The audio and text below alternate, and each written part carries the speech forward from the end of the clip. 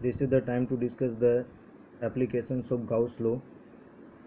I have already discussed with you that uh, to calculate the electric field Gauss law is very uh, much applicable and useful also.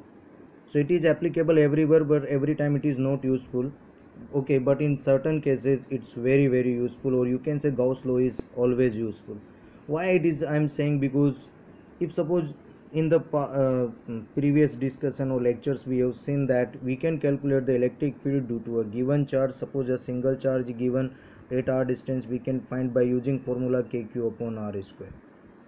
Suppose in dipole we also uh, saw that suppose there are two charges at the same time we can find the electric field. Suppose i said there are three charges 30 charges millions and billion charges.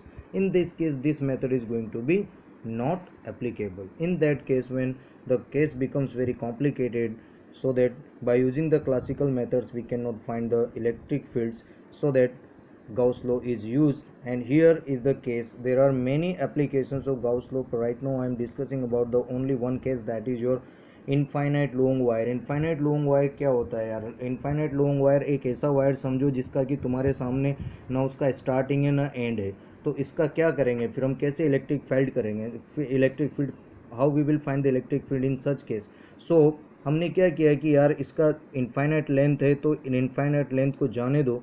जितना हमारे बस का है, उतना हम consider करते हैं। तो हमने सपोज़ इसका एक एल लेंथ को कंसिडर किया है।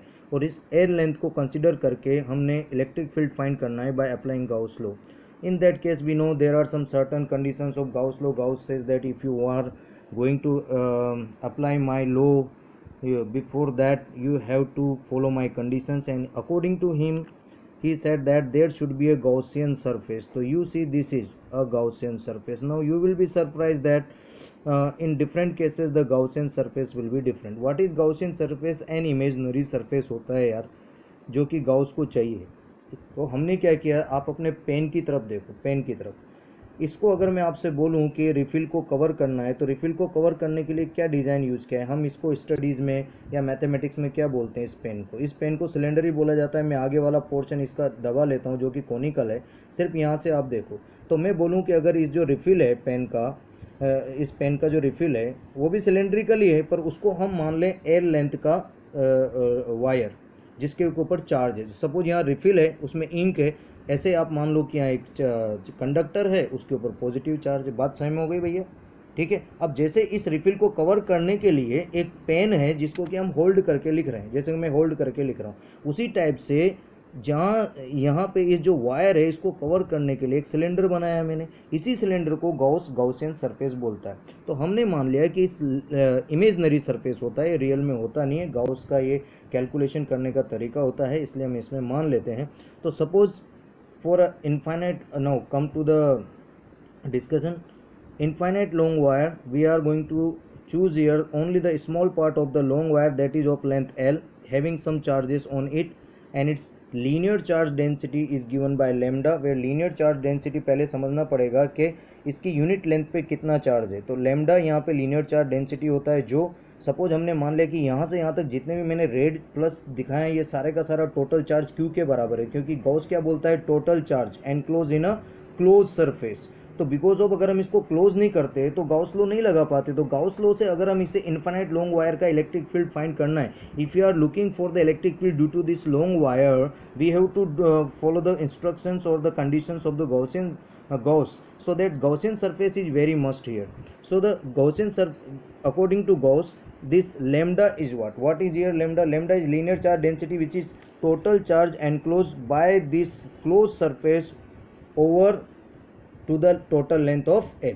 So this is linear charge density. In future we will be writing its Q a, a, or con cross multiply we can write Q equals to lambda L. In future um, uh, next to it uh, I will be using this term. So you just understand that lambda क्या होता है linear charge density ये हो गया अब इसके वापस बात करते हैं if you look at this Gaussian surface which is imaginary surface according to Gauss how many surfaces you can see you see you remember the घी का डिब्बा at your home guys घी के डिब्बे में तीन पार्ट होते हैं ऊपर वाला हिस्सा ऊपर वाला ढक्कन नीचे वाला टॉप बॉटम और बीच का जिसको कि हम कर्ड सर अब मैथ्स की भाषा में बात करते हैं if you look at this Gaussian surface in up there there is a circle which is the one surface its area vector is this and electric field be here so here the area vector and electric field at this surface in upper part of this Gaussian surface will be 90 degree yes it will be 90 degree and according to the classical formula of the flux it is EA EA EA cos theta so flux is given by EA cos theta we have seen in the previous lecture flux is given by EA cos theta am I right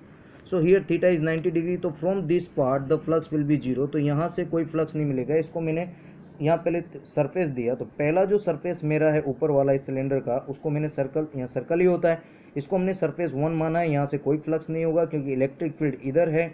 electric field इधर है और area vector इसके perpendicular है, बिल्कुल ऐसा है यार, ठीक है 90 डिग्री पे है तो ये तो हो नहीं सकता तो यहाँ से फ्लक्स ज़ीरो होगा। अगर यहाँ से ज़ीरो है तो डाउन देर यहाँ से भी फ्लक्स ज़ीरो है क्योंकि यहाँ भी एरिया वेक्टर इधर होगा परपेंडिकुलर डाउनवर्ड्स और इलेक्ट्रिक फ़ील्ड इधर है तो यहाँ पे भी 90 डिग्री है। सो इन तीन सरफेस में से दो सरफेस से हमें कोई फ्लक्स मिलने, अभी हम क्या कर रहे हैं? अभी हम गाउस लो नहीं लगा रहे, हम क्लासिकल फिजिक्स लगा रहे हैं। और क्लासिकल फिजिक्स ऑफ़ फ्लक्स वाला फॉर्मूला लगा रहे हैं कि भाई ये नाइन्टी डिग्री है इलेक्ट्रिक फ़ील्ड और एरिया वैक्टर में तो यहाँ से कोई फ्लक्स नहीं मिलेगी, यहाँ से कोई फ्लक्स नहीं मिले। अब बचा बीच वाला पोर्सन डिब्बे का बीच वाला पोर्सन जिसको कि हम कर्ड सरफेस बोलते हैं। क्या यहाँ से फ्लक्स मिलेगी? हाँ मिलेगी। तो सपोज़ करो कि यहाँ से क्या सिचुएशन है कि यहाँ पे मैंने मान लिया कि इस वायर, इस लॉन्ग वायर के स्मॉल पार्ट एल से आर डिस्टेंस पे एक पॉइंट कोई पी है और वहाँ पे हम इलेक्ट्रिक फ़ील्ड ई को एज्यूम कर रहे हैं। आर कोई आर्बिटेटरी डिस्टेंस है जहाँ पे हम इसको इलेक्ट्रिक फ़ील्ड ई एज्यूम कर लिया। तो suppose exactly on this Gaussian surface suppose the electric field is E and there is a small area that is of D S so, how much flux will be coming out from this? How many electric field lines will be coming out from this hole?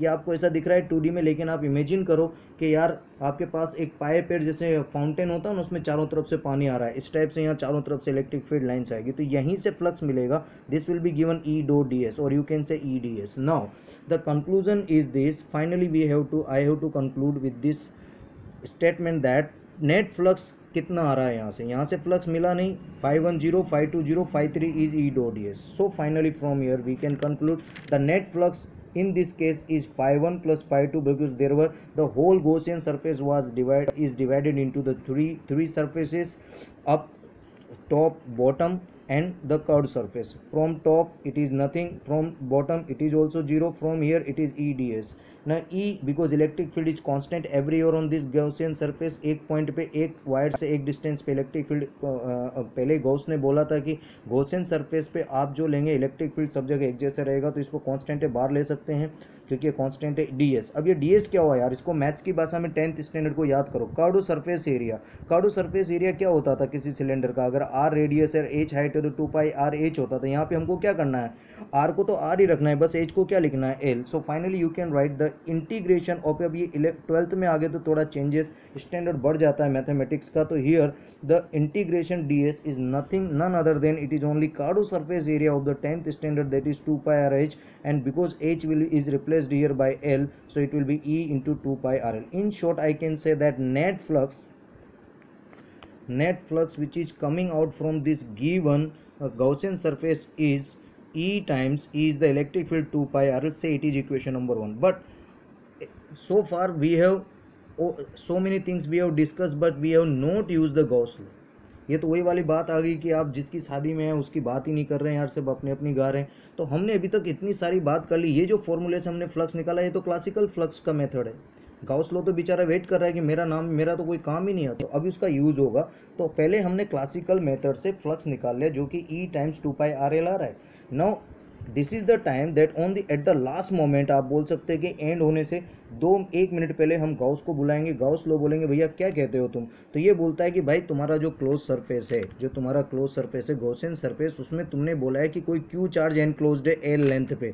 इस पर Q charge है तो भाई, मेरा तो simple फंडा है कि यहाँ से जो फ्लक्स बाहर आएगा, वो क्यूब अपॉन एक्सप्लाइन ज़ीरो आएगा मेरे लो के हिसाब से। हमने बोला, सर, कोई टेंशन नहीं है। अगर आप बोलते हो कि the net flux due to the Gauss law is Q by epsilon zero and due to the this classical method it is both should be same because एक ही चीज़ के दो तरीके हैं, आप बोल रहे हो, इतना फ्लक्स होगा, हम क्लासिकल मेथड से जानते हैं तो इतना होगा। तो इक्वेशन वन और टू एक ही बात बोल रहे हैं net flux from this Gaussian surface ये भी बोल रहा है नेट फ्लक्स दोनों को इक्वलाइज कर दो यार तो E times two pi R L is Q upon epsilon zero अब जब इसको हम ऐसा सेट करेंगे तो E will be equal to Q upon two pi epsilon zero two pi epsilon zero R this is epsilon zero R L अब Q by L को थोड़ा देखो, ये क्या है? यार, ये लीनियर चार्ज डेंसिटी है जो मैंने आपको अभी तुरंत बताया था, ये रहा यहाँ lambda equal to Q by L तो इस Q by L will be replace by lambda तो electric field due to uh infinite long wire और is given by lambda upon two pi eps अब आप देखो, यहाँ पे ये कॉन्स्टेंट है lambda constant two constant everything is constant so finally we can conclude that the electric field due to uh long infinite wire is 1 upon r means as the r will increase the electric field will decrease. So this is the electric field due to a long wire which we have calculated here. Thank you very much. This is a first application of